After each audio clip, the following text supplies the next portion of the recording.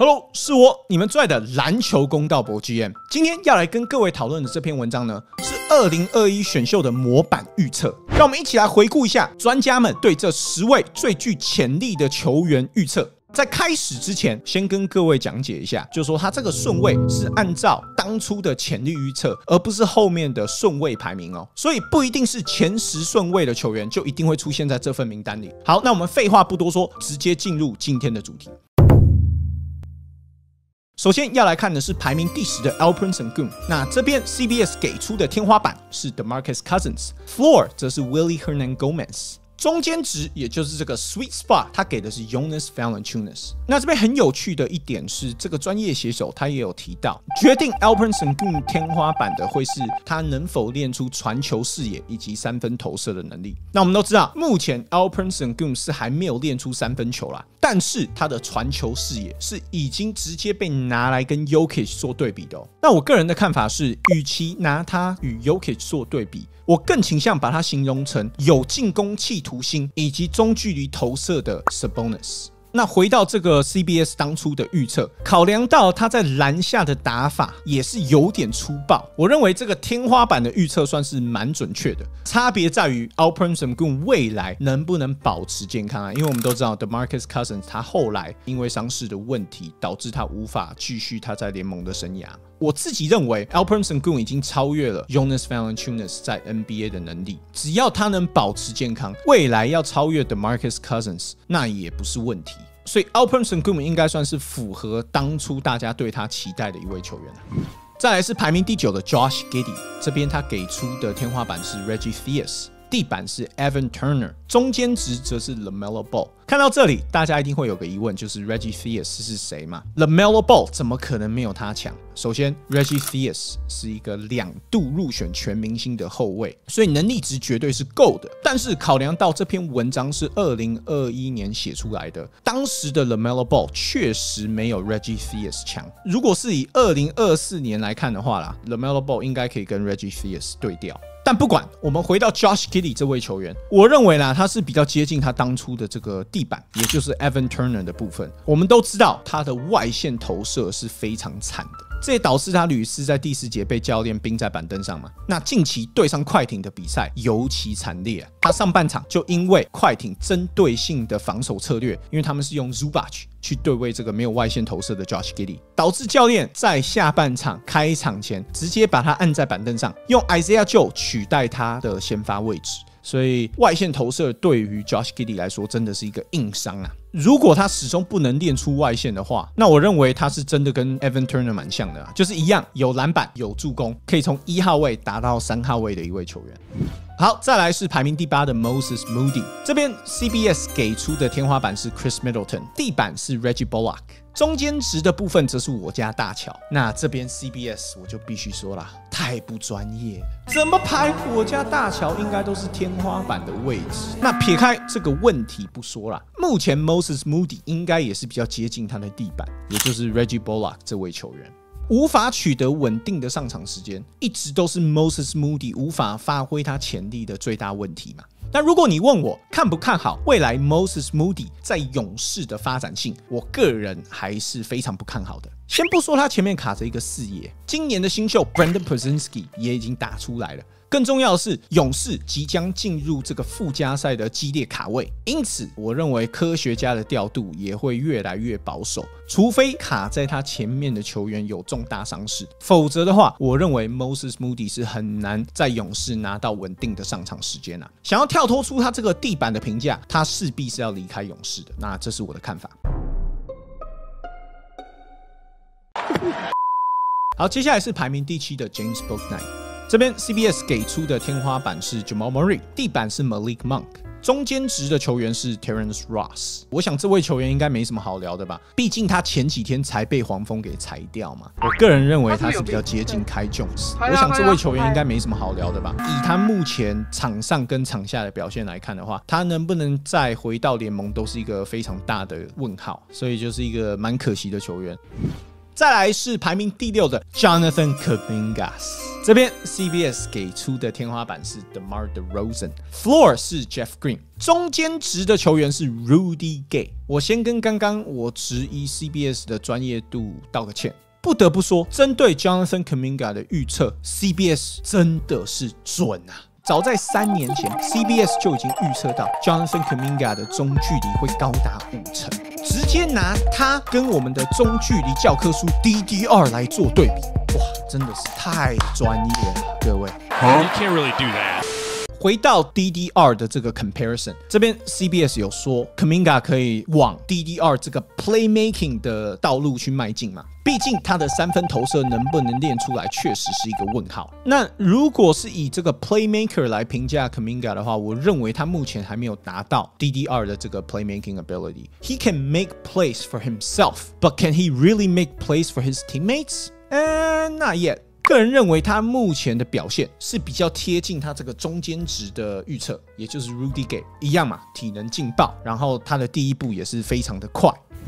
再来是排名第五的 Scotty Barnes，他的天花板是 Draymond Green，地板是 James Johnson，然后他的中间值是 OG Anunoby。不得不说，关于 Scotty Barnes 的部分，感觉 CBS 是完全低估了他当初的潜力啊！你从他的天花板摆 Draymond Green 就知道，不是说 Draymond Green 不是一个好的球员，或者是说他的历史地位不高，但是 Scotty Barnes 他的进攻能力应该是吊打 Draymond Green 的吧？所以我认为啦，Scotty Barnes 他目前的 trajectory 应该是完全超越了名单上这三位球员。那文章里也有提到，就是说外线投射对于 Scotty Barnes 来说会是一个问题。而如今 Scotty Barnes 也已经练出他的三分投射了嘛，所以这边必须给 Scotty Barnes 一个 respect，就是他完全超出了这些专业写手当初对他的期待。那再来是潜力值排名第四的 Jalen Suggs。那这边 CBS 给出的天花板是 Gary Payton，Floor 是 Derek White，然后它的中间值是 Malcolm Brogdon。呃，我不是很懂中间值是 Malcolm Brogdon 的这个原因，因为哦，你看 Derek White，不要说他今年的表现啊，因为这个是二零二一年的文章嘛。那当时的他啦，应该算是一个三 D 型的后卫吧，游走在一二号位，然后防守能力非常突出，有一定的外线能力的一位球员。那 Gary Payton 就不用说了，对不对？手套，直到 Marcus Smart 拿下 DPOY 以前，他都是唯一一位拿到 DPOY 的控卫。所以很明显，他的天花板跟地板强调的都是防守，可是他中间值的球员给的却是一个完全没有防守，然后打法偏于技术型。而而不是体能劲爆型的 Malcolm Brogdon，因为我觉得他这个中间值给的有点怪。那不管我们回到 Jalen Suggs 的部分，跟 Scotty Barnes 有点类似的就是说，他进入联盟的前两年都是没有外线投射能力的。那今年他算是终于练出了这个外线投射，三分命中率高达三成九，再加上他又是一个后场大锁，我自己认为啦，他的天花板应该会是健康的 Alex Caruso。这不是贬低他的意思，而是我认为他的打法比较贴近一个优质的三 D 后卫，而不是像 Gary Payton 那样子有进攻有防守的控卫。你要说有点类似 Derek White 吗？可是 Derek White 今年的进攻好像又比 Jalen Suggs 更全能一点。所以我这边会说他是一个没有伤病隐忧的 Alex Caruso，不知道各位怎么看呢？好，那再来是当初潜力值排名第三的 Jalen Green，那这边 CBS 给出的天花板是 Clyde Drexler，也就是著名的滑翔机啊。地板的部分是 Jordan Clarkson，中间值给的是 Zach Levine。不得不说，他这个还真的是蛮准的呢。现在的 Jalen Green 完全就是介于 Zach Levine 跟 Jordan Clarkson 之间吧。他像 Jordan Clarkson 的地方在于他擅长的是单打独斗嘛。然后他长得帅，没有效率的部分又非常贴近 Zach Levine。好，那除了 CBS 所 list 出来的这三位球员以外，有没有哪位球员是 Jalen Green 蛮接近的呢？我认为他目前在场下的打法是最接近 Malik Beasley 的。那关于这点，懂的就懂。OK，我也就不多说了，到时候又要被黄标了。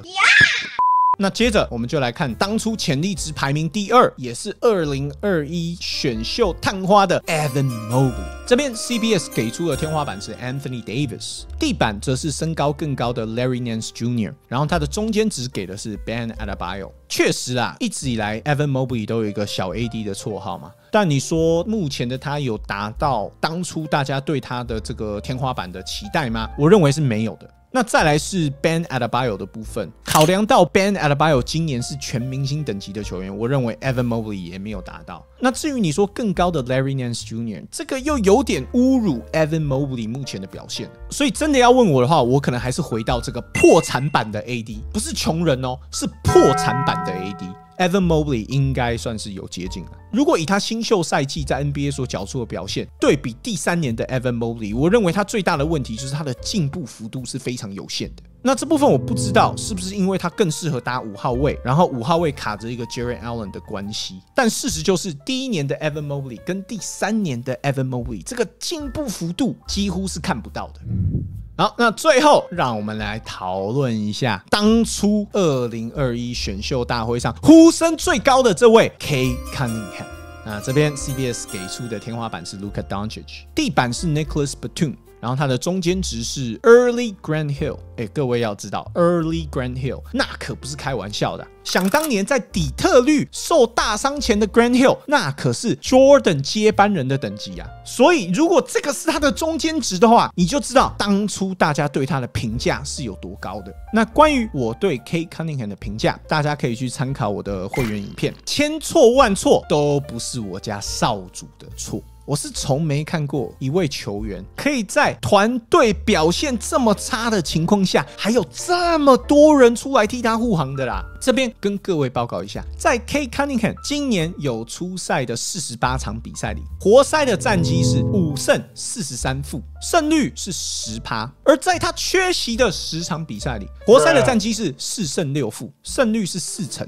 那我不知道是什么原因呐。就如果说一个球员他真的这么强的话，你怎么去解释一支球队在他缺席的比赛里胜率是直接翻四倍？那再来，我们来看一下 K Cunningham on and off 的数据。当他在球场上的时候，球队的 plus minus 是负六点四。而当他不在场上时，球队的 plus minus 就瞬间掉到负三点四。换句话说，同样都是输球，没有 Cunningham 在场上的活塞输的其实是比较少的。那当然我知道，这个时候又有很多人要跳出来护航啦。毕竟千错万错都是教练跟队友的锅嘛。有没有可能是他的队友打得太烂，导致他的 on and off？看起来非常烂呢。那这边跟各位报告一下，今年活塞队除了 K Cunningham 以外，上场时间最多的四位球员分别是 Isaiah Stewart、Jalen Dorn、Jaden Ivy 以及 Asore Thompson。那数据我就摆在这边啦，你们自己看。很明显，K Cunningham 的 on and off 是这五位球员里最糟糕的一位。所以到底是队友在拖累他，还是他在拖累队友嘞？我不知道，毕竟我不是专业的写手。那接下来，扯远了，扯远了。让我们回到这个球员模板的比较啊，他的天花板是 Luka Doncic，那这个是 Hell No。再来是中间值的部分，Early Grand Hill，No。最后是 Nicholas Batum。嗯，Nicholas Batum 我不太确定，因为毕竟 Nicholas Batum 的 On and Off 应该没有 K Cunningham 这么糟糕吧，所以我不太确定他比较接近哪位球员呢？这部分我就开放留言区给大家做讨论啦。好，那今天的影片就到此告一段落了，感谢各位的收看，我们下部影片见，拜拜。